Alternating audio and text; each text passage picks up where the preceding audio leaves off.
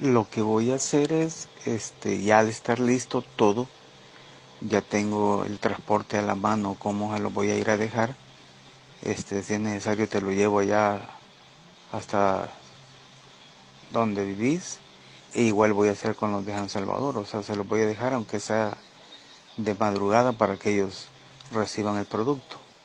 Así es que voy a hacer para avanzar en tiempo, pero necesito que la prueba sí sea convincente y que este nomás el mecanismo llegue a la hora, pues funcione bien, porque eso es lo que estaba dando problema, pero se, se ve bien, pero como te digo, la potencia no me gustó mucho. Unos funcionaban, otros no, entonces quiero que funcione totalmente, que no vaya a haber ni una sola falla.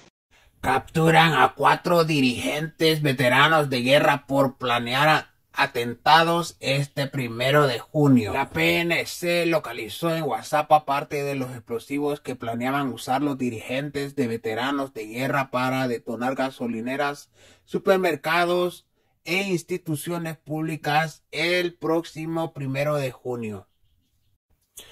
Ante esto, la líder feminista publicó hoy noche capturaron a José Santos Melara Pepe, veterano del FMLN, ex diputado de la Asamblea Legislativa por el FMLN, ex miembro del Consejo Nacional de FMLN y actual dirigente de la Alianza Nacional del Salvador en Paz.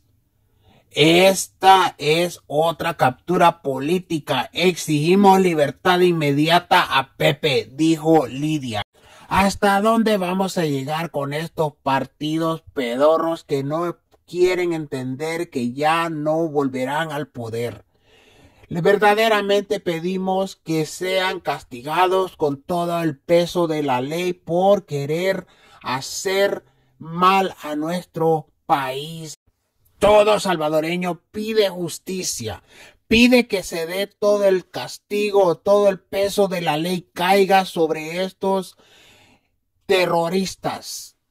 Bueno, hasta aquí dejo este video. No olvides suscribirse, darle like y comparte esta noticia de último minuto.